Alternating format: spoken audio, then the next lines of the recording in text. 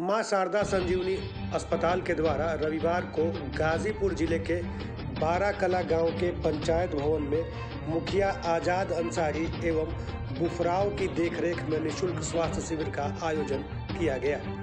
इस शिविर का उद्घाटन ज़िले के जाने माने चिकित्सक एडी उपाध्याय नेत्र विशेषज्ञ श्रुति उपाध्याय के द्वारा किया गया कार्यक्रम में चित्रकूट अस्पताल से आई तथा जिला मुख्यालय के नया बस स्टैंड के पास अपना निजी अस्पताल चला रही नेत्र रोग विशेषज्ञ डॉक्टर श्रुति उपाध्याय ने कहा कि यह मेरा दूसरा कैंप है। इस कैंप में भी लोगों को यह बताया गया कि वह अपने आँखों के प्रति लापरवाही न बरते। लोगों को जागरूक किया गया। साथ ही उन्हें दवाएँ भी दी गई।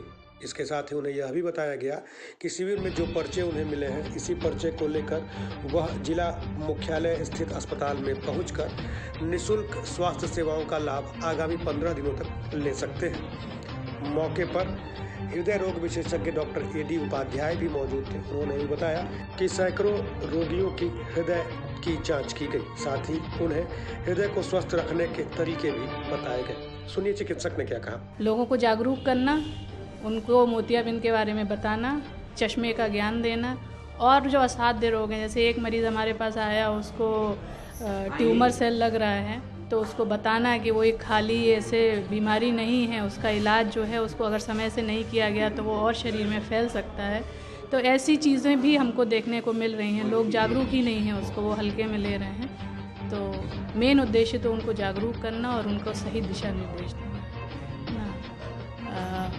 मरीज़ यहाँ पर भी थोड़ा कम जागरूक है अपनी आँखों को लेकर। धुंधलापन को उसने अपनी ज़िंदगी का एक हिस्सा बना लिया है। वो उसी में जीना चाहता है, उसको एहसास ही नहीं है कि इससे भी अच्छा हम धुंधलेपन से अपनी मुक्ति पा सकते हैं। तो ये जो मुहिम हमने छेड़ी है कि हम गांव-गांव जाके बक्सर से मोतियाबिंद का जो रोग है, इसको हटा के उनकी ज़िंदगी में नई रोशनी दें तो इसी को आगे ले जाते हुए आज हमने यहाँ कैंप किया है। अच्छा मैडम यहाँ के बाद और भी स्वास्थ्य शिविर लगने वाला है। जी हाँ मैं अगले पंद्रह दिन में फिर चौसा में स्वास्थ्य शिविर लगाने की योजना में हूँ। तो कोशिश यही है कि लोगों को गांव-गांव में जाके उनको इस चीज़ के लिए जागरूक किया हाँ जी। अभी डॉक्टर साहब भी जी। शिविर में हृदय रोग विशेषज्ञ डॉक्टर ए डी उपाध्याय के द्वारा 300 रोगियों की जाँच की गई, जिनमें से 50 की ईसीजी जाँच भी की गई। इस कैंप को सफल बनाने में कल्याणी हर्बल ग्रुप के राजन Kumar Tiwari S K Ojha, Chintaharan Upadhyay, Abhay Dubey, Rakesh Ranjan Dubey Om Prakash Mishra, nursing staff Shani Kumar, Sagar Kumar, Ravi Singh, Vishnu Mishra, Ruby Kumari एवं निक्कू कुमारी की भूमिका अहम रही।